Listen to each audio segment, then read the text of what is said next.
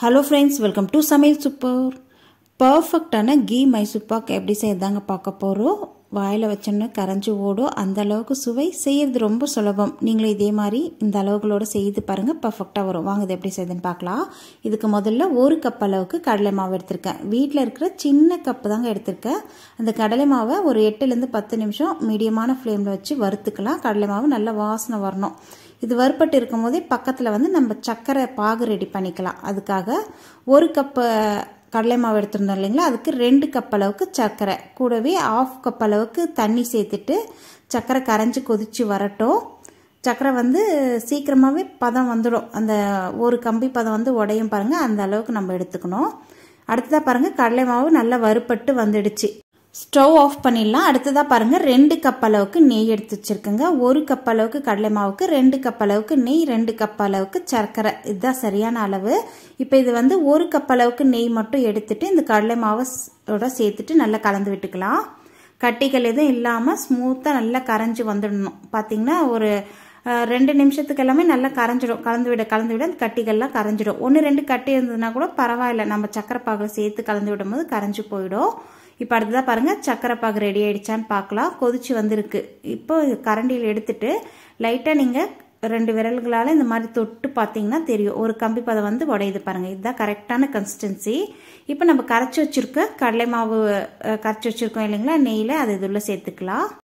நம்ம இன்றைக்கி ரெண்டு கப் அளவுக்கு நெய் எடுத்திருந்தோம் இல்லைங்களா? நீங்கள் சப்போஸ் நீங்கள் ஒரு கப் அளவுக்கு நெய் ஒரு கப் அளவுக்கு ரீஃபைண்ட் ஆயில் இல்லை சன்ஃப்ளவர் ஆயில் கூட சேர்த்து கலந்து மிக்ஸ் பண்ணி யூஸ் பண்ணிக்கலாம். அது உங்களுடைய விருப்பம் தான். இன்றைக்கி ஃபுல் அண்ட் ஃபுல் நெய் மைசூர் பாக் செய்யறதுனால ரெண்டு கப் அளவுக்கு ஃபுல்லாகவே நெய் எடுத்திருக்கேங்க. பாருங்கள் இந்த அளவு கலந்து விட்டு திக்காய் வந்திருக்கு. இப்போ அடுத்தது நம்ம எந்த பாத்திரத்தில் செட் பண்ண போகிறோமோ அதை வந்து நெய் தடவி அப்ளை பண்ணி வச்சுக்கலாம். நீங்கள் பிளேட்டில் கூட நெய் தடவி வச்சுக்கலாம். நான் வந்து சின்ன பாத்திரமாக எடுத்திருக்கேன். இப்போ அடுத்ததாக பாருங்கள் மீதி இருக்கிற நெய்யில் கொஞ்சமாக சேர்த்துருக்கேன். சேர்த்துட்டு கலந்து விட்டுக்கலாம். நெய் வந்து நம்ம ஒரு கப் அளவுக்கு மீத்தி வச்சுருக்கோம் இல்லையா? அதை கொஞ்சம் கொஞ்சமாக சேர்த்துட்டு கலந்து விட்டுட்டே வரணும். அப்போ தான் சரியாக இருக்கும். நெய் நம்ம சேர்த்துட்டு கலந்து விடும் போது நல்லா அந்த கடலை மாவு வந்து அப்சர்வ் பண்ணிவிடும் பாருங்கள் நல்லா நெய் அப்சர்வ் பண்ணிடுச்சு இப்போ மீதி இருக்கிற நெய்யும் ரெண்டு மூணு டேபிள் ஸ்பூன் அளவுக்கு சேர்த்து சேர்த்து கலந்து விட்டுட்டே இருக்கலாம். நெய்யை அப்சர்வ் பண்ணிகிட்டே இருக்கும் கடலை மாவு.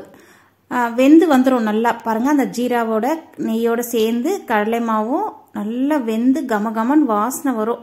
கடைசி நேரத்தில் பார்த்தீங்கன்னா நல்லா பபுள்ஸ் பபுள்ஸாக கொதிச்சு வரும். அந்த சமயத்தில் நம்ம பிளேட்லேயோ இல்லை நம்ம எதில் செட் பண்ண போகிறோமோ அதில் ஊற்றி வச்சுட்டோம்னா சரியாக இருக்கும். ரொம்ப நேரமும் கிண்டின்னு இருக்கக்கூடாது அந்த பதம் வந்து தெரியும். கரெக்டாக பாருங்கள் அவ்வளோதான் எல்லா நெய்யும் சேர்த்தியாச்சு. இப்போ வந்து ஸ்டவ் ஆஃப் பண்ணிடலாம். கரெக்டான பக்குவத்தில் வந்திருக்கு பாருங்கள் அந்த பபுள்ஸ் பபுள்ஸாக கொதிச்சு நம்ம எடுத்து விடும் போது இந்த பதத்தில் இருக்கணும்.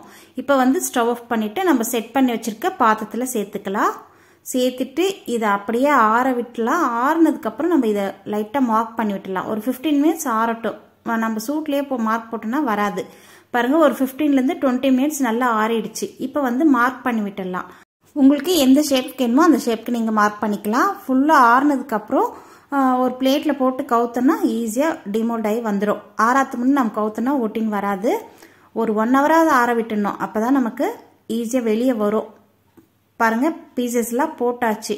இது ஆறுனதுக்கப்புறம் நம்ம ஒரு பிளேட்டில் போட்டு கவுத்திடலாம். ஆறி வந்துடுச்சு இப்போ வந்து ஒரு பிளேட்டில் போட்டு கவுத்து விட்டோன்னா மேலே லைட்டாக டேப் பண்ணி விட்டிங்கனாவே போதும். கைகளால் தட்டி விட்டாலும் வந்துடும் பாருங்கள் ஈஸியாக வந்துடுச்சு. சூப்பராக வந்திருக்கு மைசூப்பாக்கு எடுத்து கட் பண்ணியும் காமிக்கிற பர்ஃபெக்டான கீ மைசூப்பாக் டேஸ்ட் பக்காவாக இருக்கும். நீங்களும் இதே போல் செய்து பாருங்கள் பாருங்கள் உடச்சி பார்த்தனவங்களும் சூப்பராக வந்திருக்கு. பர்ஃபெக்டான மைசூப்பாக் ரெடி ஆயிடுச்சு. இந்த வீடியோ பிடிச்சிருந்தா லைக் பண்ணுங்கள் நம்ம சமையல் சூப்பர் சேனலை சப்ஸ்கிரைப் பண்ணி வச்சுக்கோங்க. இந்த ரெசிபியை ட்ரை பண்ணி பாருங்கள் இன்னொரு இன்ட்ரெஸ்டிங்கான ரெசிபியோட உங்களை சந்திக்கிறேன். நன்றி. வணக்கம்.